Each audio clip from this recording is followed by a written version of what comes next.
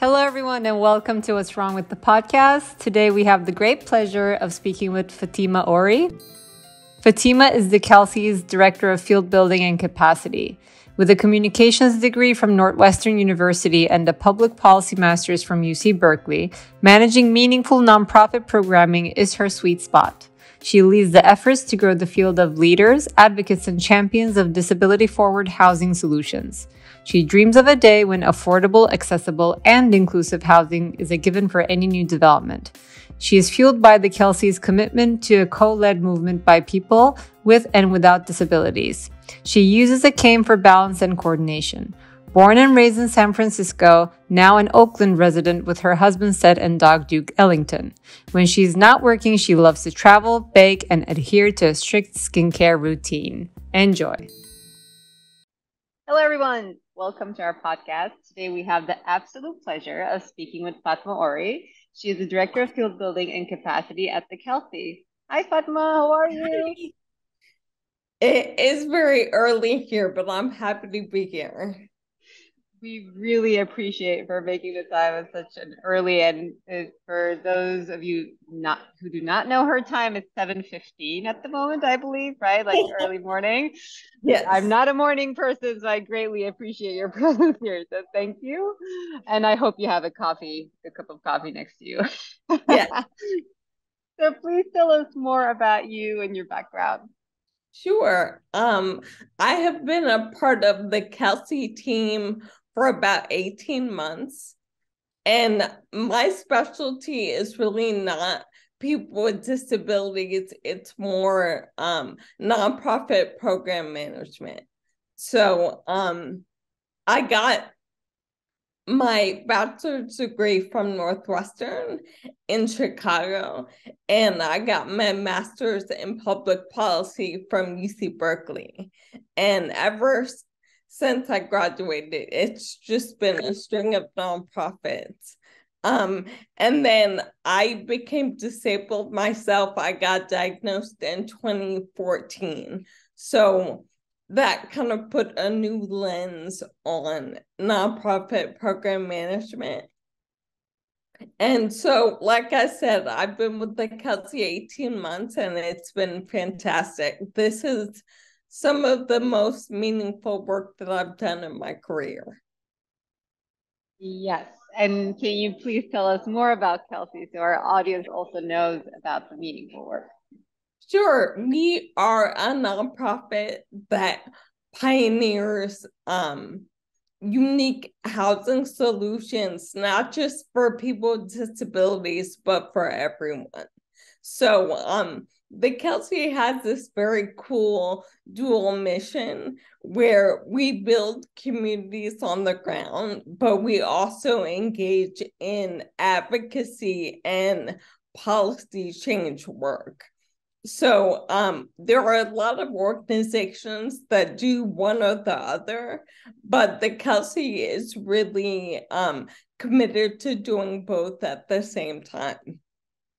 So we have two housing developments that are being built right now one in San Jose, California, and the other in San Francisco, California.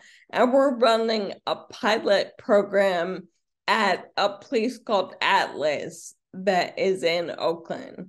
So, um, we're really looking, especially this year, to branch out to um, new geographies and new parts of the country. So stay tuned.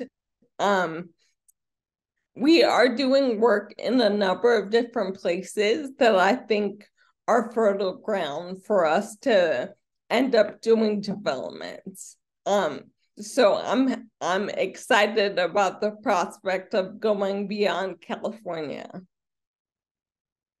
Uh, well we met kelsey um, last year i guess. Yes we're in january. So um, we got really excited as um, we do feel the discussions and work uh, in built environment around inclusion is quite lagging actually in the united states. And um, you know I think lagging maybe globally, but I feel like in US it's like further lagging given that, you know, since ADA, it has been like 30 plus years, and we don't necessarily see much uh, innovation in the space. Um, so I would love to hear your thoughts on what you're observing in built environment and what is most problematic that we need to address.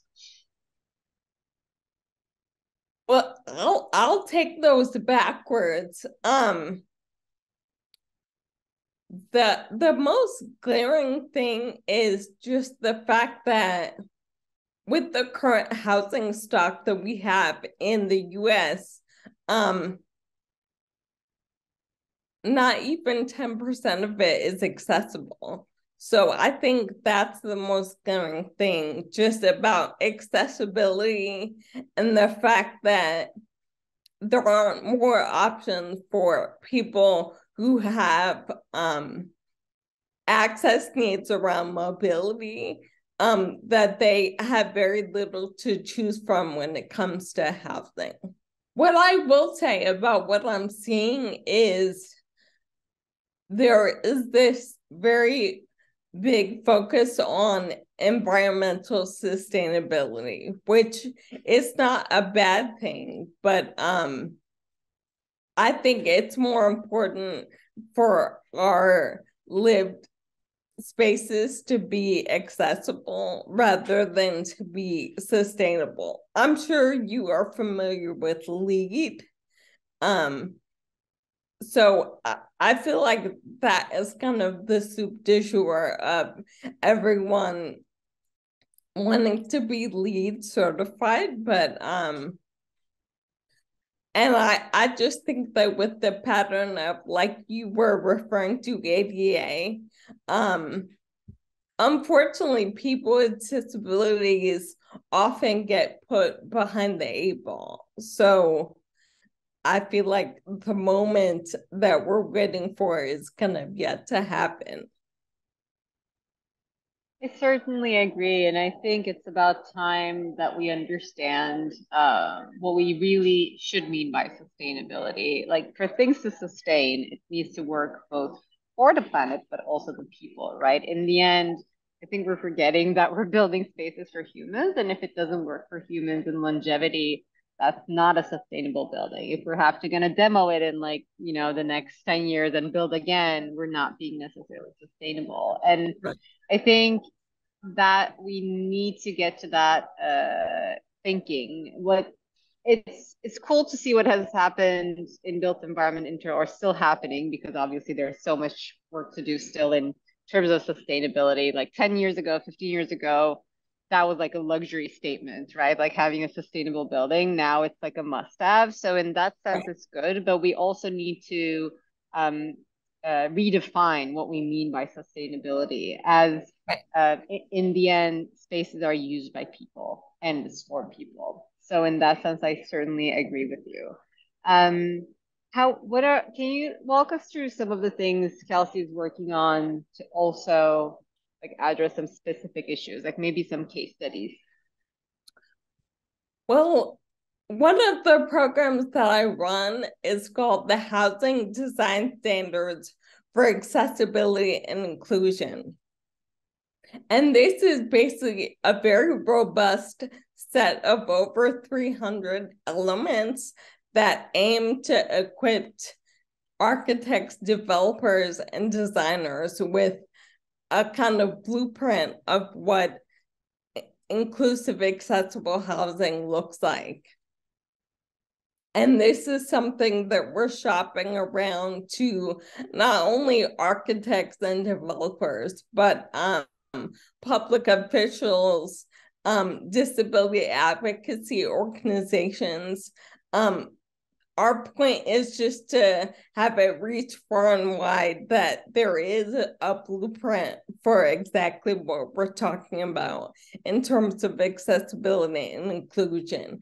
And these design standards were first published in 2021 and we continue to try to push the ball forward um, when it comes to architecture. We have, um, we're really passionate about including people in your team that come to the table with lived experience. So um our major partner, um, his name is Eric Mickerton, and he's actually an architect with um two different disabilities. So um it you know, it's not just a bunch of able-bodied people saying this is what accessible housing needs to look like. We really pride ourselves on bringing people to the table who actually look like our end user.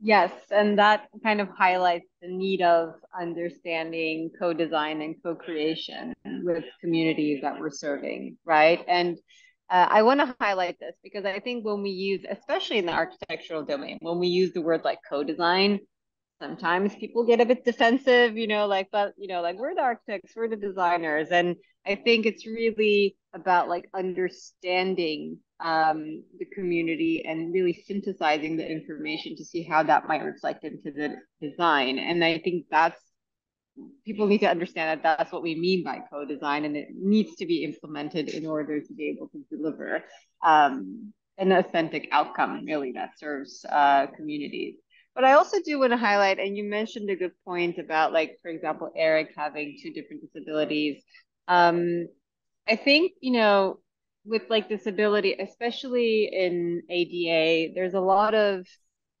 um, really baseline requirements, right? Like, oh, there's a wheelchair use, let's put a ramp or whatever. Like very just like very prescriptive, um, very just like addressing baseline. But um, to exactly your point, people have varying combination of needs, right? There might be two disabilities. There might be a temporary disability and disability. There may, might be a few temporary disabilities going on at the moment for an individual, right? So there's an outcome of the, uh, the intersectionality of all of these features that also spaces need to deliver. And um, we're still trying to push away from like just simply access, but like to inclusion, right? But then we also need to think about the intersectionalities of all these um, characteristics that we might have uh, that might have added requirements and needs.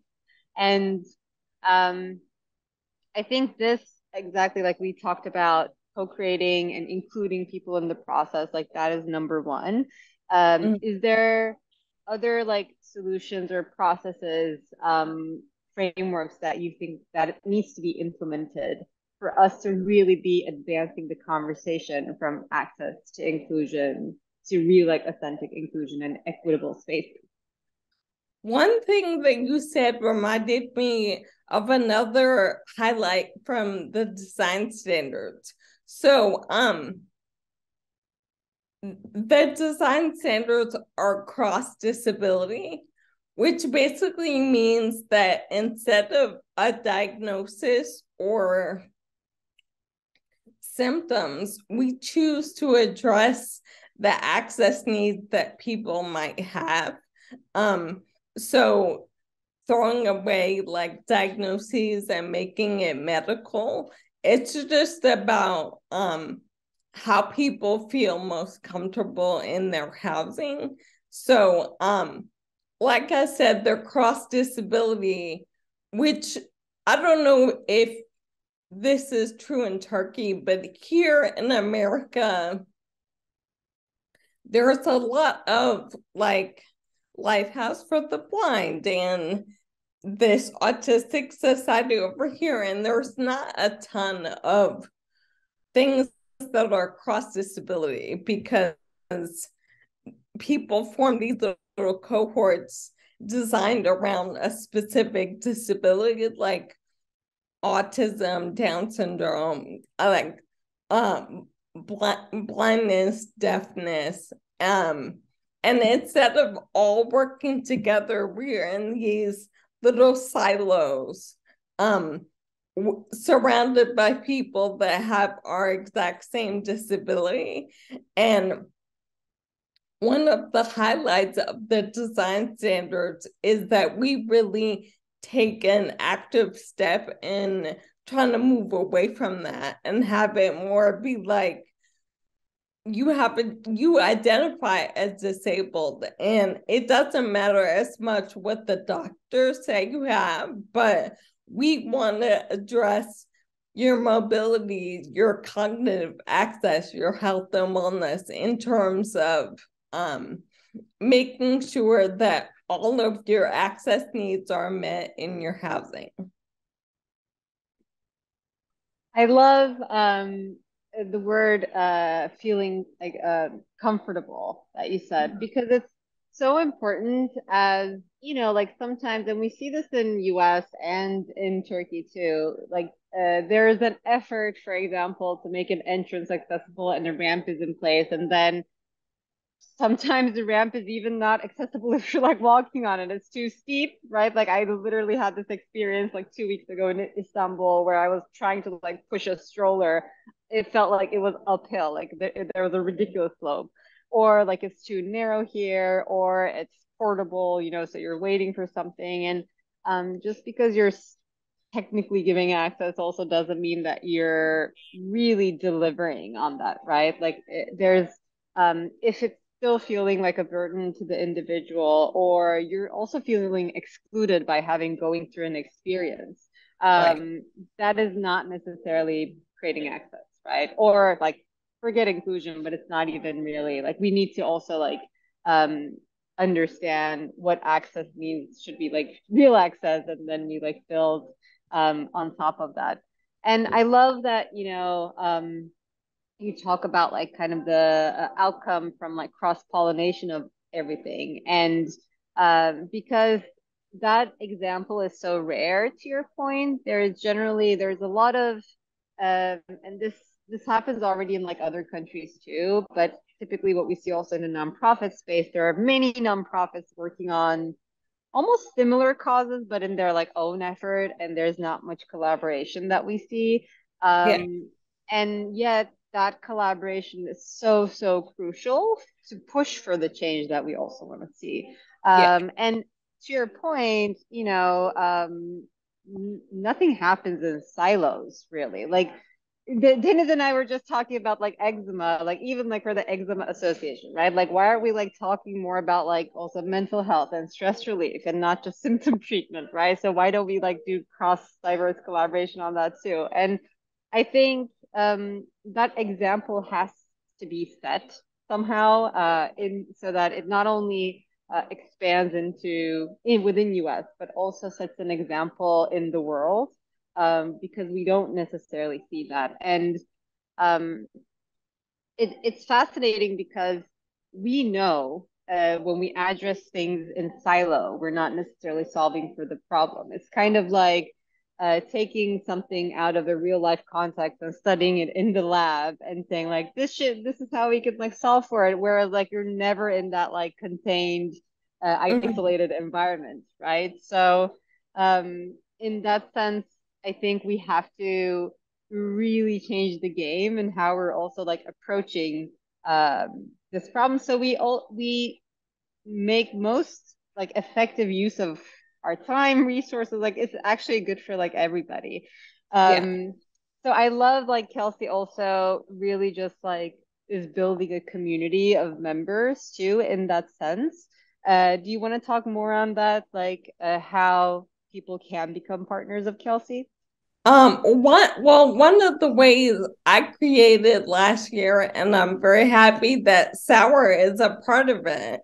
So we have um, something called committed firms, which are just basically entities that believe in the design standards and what we're trying to do around accessibility and inclusion. So there is joining on as a committed firm, and then um, we have this thing called the Inclusive Housing Network that is made up of over 16 organizations throughout um, the US, and they're all um, either in development or operational in terms of um, offering inclusive housing. And these organizations go from California all the way to DC.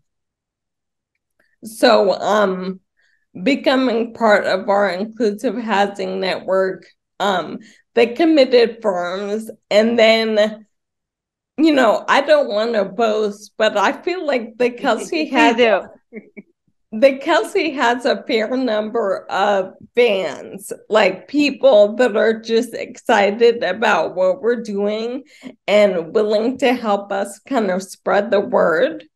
And that is definitely a, a less formal network, but still um, important to have people out there who understand what we're trying to do and why it's so important. Yes, and we're proud fans ourselves as well. And I'm sure it's only, you know, going to grow into a very, very large community of fans. Um, so I would love to kind of like get your thoughts on what would be the vision, right? Like, what is it? Where do you see, like, if Kelsey really like succeeded in everything that it aimed for, what would we want to see in United States and hopefully uh, there, globally thereafter? That is a good question. I think that um, having the design standard take off is definitely one of my dreams, and um, take off in a way that like LEED the LEED standards are to environmental sustainability. Um, my dream is that the design standards would become standard practice that um, and then everyone uses before they launch into a housing development. So my lofty goal is really just having the design standards kind of accepted as the new normal in terms of inclusive housing. I so love that. Okay. yeah. Um and then on a larger note, just with the Kelsey, my lofty goal there is just to see this kind of inclusive development um, sprout all over the US and eventually the world. So, like I said with the dual mission, so we do um, policy and system change work, but we also build communities. So, um, I would love to see the kind of communities that we have in San Jose and San Francisco sprout up um, all over the US. I I definitely agree. Like I would love to see Kelsey standards become like standard standards, you know, like it's just like yeah. common practice to your point. And uh, what excites me and what I, what I feel hopeful about also, you know, LEED became LEED, but also it became a marketing thing, and so people wanted to like go for the marketing, or it's almost like a branding a building in a way. Um, but you know, we recently had a panel discussion uh, on what's wrong with architecture, and one thing that came up was also like form follows finance, really, in architecture, and um, so the conversation around ESGs and in, investors really also starting to look out for environmental, social, and governance practices in in um, a company's uh, structure is exciting for me because I'm hoping that also eventually like reflects into the built environment where if a bank is financing a project, if the government is financing a project, if a developer is looking for funding, um, this becomes part of their standards too, right? Investors want to invest in projects where they see authentic inclusion. And um, I feel like Kelsey creates the foundation for that to be able to happen with the standards it created. And I really like my dream also to build on Kelsey's is to like see this becoming like an investment standard, right? So if really um, the built environment is dependent on finance world, the finance world demanding this from um, projects that are being delivered in the built environment. I would love to see that um, for Kelsey and too, and just for like all of us. I'm glad that you brought up the financial piece because that's one that I skipped, but um, and I'm sure that you've seen this. Um, accessibility often becomes the scapegoat for accessibility. People think that making something accessible is going to cost all this extra money. And so we're in an age now where architects and developers just want to do the bare minimum so they don't get into any legal trouble. And so some of this is just shifting attitudes like we aim to design for everyone um not disabled people included and one of our catchphrases so to speak is just that um making things accessible and inclusive ends up benefiting everyone um and so i I'm not sure if this is just an American thing, but we call it the um, curb cut effect. So when curb cuts first became a thing, they were pretty much just for people in wheelchairs. Like, oh, that's an accessibility thing for people in wheelchairs. But now like you were saying, pushing a stroller, being on crutches, being a traveler on your way to the airport, curb cuts end up being helpful and beneficial to a number of different people, not just people with disabilities. So the curb cut effect, and then I did want to say just financial.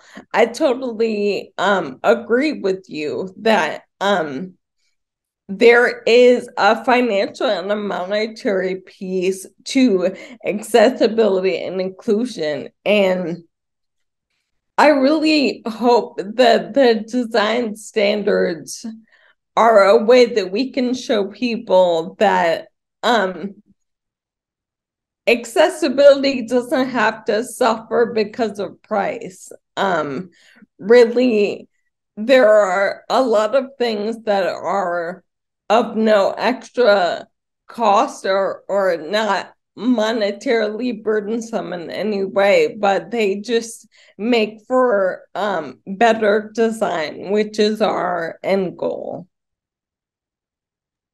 I totally agree. I feel like um, that becomes the excuse a little yes. bit. And yes. of course, in any project, like there would be like an ideal scenario and there could be a cost engineer scenario. And I get that. But I think just starting out a project with like creating a, your own glass ceiling saying like, we're going to do the bare minimum. You're already like, by the time you're done with the building, uh, it's outdated right? So like forget the conversation around like sustainability. And I want to remind this is a reminder for all of us that we're all aging. So right, like with aging can come various needs, um, access needs, and just like to your point, like convenience and just being yeah. helpful. Um, so one in that thing, sense, I think one thing that I'll throw in there is I always say even able-bodied people are one accident away from being disabled. Yeah, yeah, hundred percent. Or even like temporary life stages, right? Like a pregnancy, um, and you know, pushing a stroller, like all the things that we're talking about, or temporary injuries, like all of that. I think we just need to um, really acknowledge that inclusive design is just better design we see that in products like nobody's going to argue like i think the best case example is an iphone right like a touch screen was an accessibility need that turned out that was favored by everybody on the planet so i think we can just like um, there are great examples in like other industries where we see how uh, bringing access actually broadens use um, so we, we kind of need to adapt that faster. And real estate always lags a little bit in all conversations, but we do hope, you know, we're start picking up on it more. And thankfully, like organizations like Kelsey, um, we can expedite that change. Um, I do want to be mindful of our time, so I do want to skip to the last part where I ask about okay. for those who want to push boundaries, um, make some positive change in any field that they're in. What would be your advice to them? Um, that is a good question. What would it be? Um, just don't take no for an answer. Um, keep knocking on that door until it opens. Um,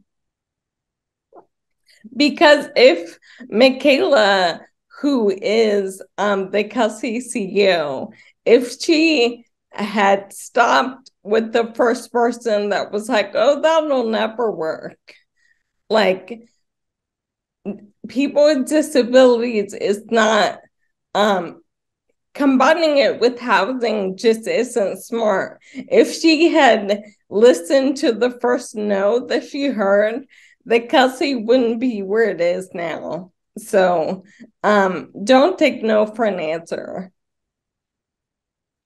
I um I love that and I think, you know, there's no day that we don't want to hear that. You know, it's always a good good reminder for ourselves that we need to push for what we believe in. And yeah. if we don't believe in ourselves, nobody's going to believe us in any way. So in that sense, um, thanks for reminding uh, us uh, that. Well, Fatma, this was a pleasure. Thank you so much for making the time. Oh, and oh, thanks for all the work you do at Kelsey.